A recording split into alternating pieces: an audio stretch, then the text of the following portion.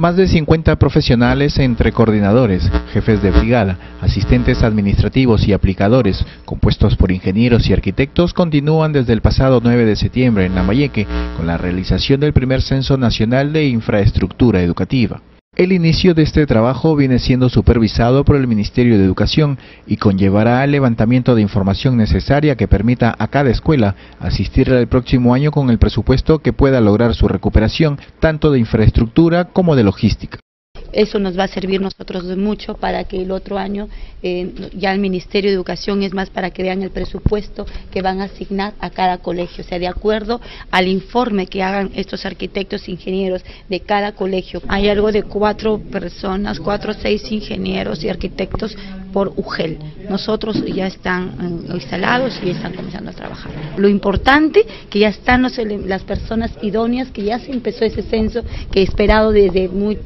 desde abril, se había dicho, pero ya ahorita se está haciendo y se está pensando terminar en diciembre, en noviembre o diciembre.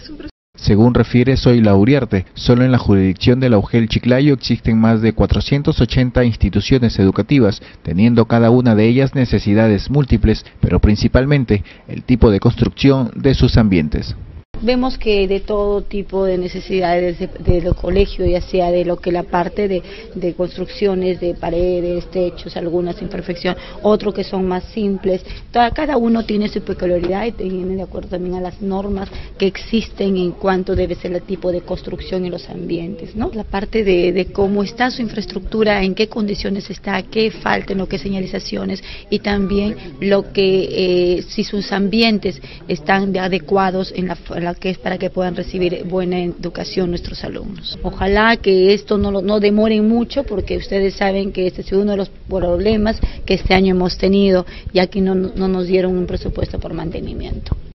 adelantándose a lo que se podrá determinar con la realización de este censo, con una inversión de 20 millones de nuevos soles y el apoyo del gobierno regional de Lambayeque. Se viene en algunos casos elaborando perfiles técnicos y en otros procediendo a la ejecución de los mismos, como es el caso del Colegio Arguedas, ubicado en el distrito de La Victoria. Hay un gran número, pero gracias a Dios también lo puedo decir, y a las gestiones con el gobierno regional, que se está ahorita ya eh, eh, terminando de elaborar los diferentes perfiles, en algunos otros se está ejecutando obras, eh, se está ejecutando obras ya sea en el Arguedas, y hay varios colegios que no lo tengo acá a la mano, que son 20 millones que el gobierno regional ha destinado para esta parte de infraestructura que se está haciendo. Vamos a luego cruzar información Así, ¿por qué no queremos que se dupliquen los presupuestos? Por ejemplo, ahorita ellos están saliendo a una a verificar, y no, pero si esos, esos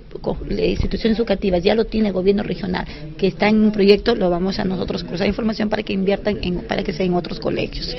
El trabajo, que se cumplirá en más de 49 mil locales escolares a nivel nacional, permitirá al Ministerio de Educación contar con una herramienta técnica para elaborar e implementar el primer Plan Nacional de Infraestructura Educativa.